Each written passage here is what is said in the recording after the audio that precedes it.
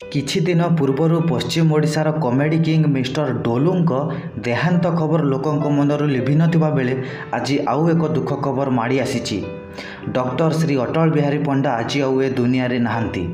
ଯିଏକି ଶଲାବୁଢ଼ା, ଆଦିମ ବିଚାର ଏବଂ ଶଲାବୁଢ଼ାର ବଦଲାରେ ମୁଖ୍ୟ ନାୟକ ଭାବେ ଅଭିନୟ କରି ବହୁ ପ୍ରଶଂସା ଜିଣିପାରିଥିଲେ ଏବଂ ଜାତୀୟ ପୁରସ୍କାର ମଧ୍ୟ ପାଇଥିଲେ। ଆଜି ଭୋର ତିନିଟା ପଇଁଚାଳିଶରେ ବୁର୍ଲା ଭୀମସାର ମେଡିକାଲରେ ବାର୍ଦ୍ଧକ୍ୟ ସମସ୍ୟା ହେତୁ ଏକାନବେ ବର୍ଷ ବୟସରେ ତାଙ୍କର ପରଲୋକ ହୋଇଯାଇଛି। ନିଶ୍ଚିତ ଭାବରେ ଓଡ଼ିଶାର କଳା ଜଗତ ପାଇଁ ଏବଂ ସାରା ଭାରତ ପାଇଁ ଏହା ଏକ ଅପୂରଣୀୟ କ୍ଷତି।